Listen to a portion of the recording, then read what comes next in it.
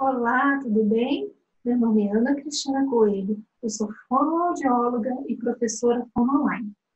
Nesse vídeo, a gente vai falar como os exercícios de trato vocal semicolírico são uma ótima ferramenta para ajudar na aprendizagem de uma nova habilidade motora para mudar um comportamento vocal inadequado.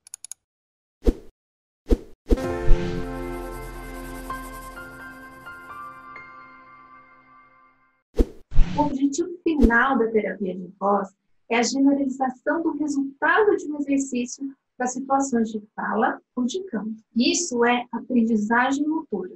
Para um paciente com queixa vocal que usa a voz de forma incorreta, ganhar uma nova habilidade motora para mudar o comportamento vocal inadequado, existem três fases distintas durante o processo da terapia que agem de forma interligada e interdependente. A primeira é a fase cognitiva. Essa é a fase da compreensão do exercício e do objetivo do exercício. Alguns assuntos como o que causou alteração de voz, como essa alteração de voz se desenvolveu e com quais ferramentas ela será tratada vão ser discutidos. É a fase de aprender como fazer o exercício e fazer o acompanhamento da execução. A segunda é a fase de associação. Nessa fase, a nova habilidade se desenvolve. O córtex cerebral desenvolve um novo padrão muscular e os músculos daquele órgão que está sendo trabalhado estão sendo fortalecidos e coordenados para desempenhar a função. É como se fosse o que fazer da fase cognitiva para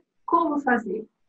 Nessa fase, um novo padrão vocal é estimulado e estendido para diversas condições ou tarefas, que são realizar a fonação com variações de frequência e intensidade, por exemplo. Então, a gente começa do simples até chegar no mais complexo, combinando exercícios e dando carga linguística para ele. O paciente usa pistas visuais, auditivas e sinestésicas para compreender a sensação do novo padrão de voz.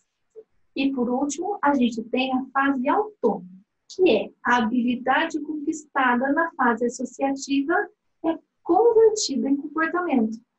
Nessa fase, o paciente precisa pensar cada vez menos na emissão e pode realizar outras tarefas ao mesmo tempo.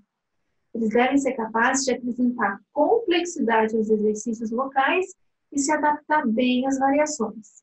O paciente deve ser capaz de transferir um novo padrão de voz para situações habituais de canto ou de conversação.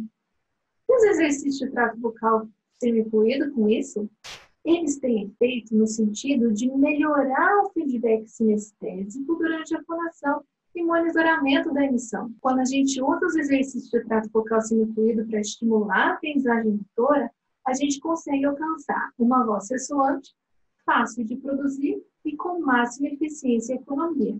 Se você quiser saber mais sobre esse assunto, acesse online.com.br e se matricula no nosso curso teoria e prática dos exercícios de trato vocal semi-incluído.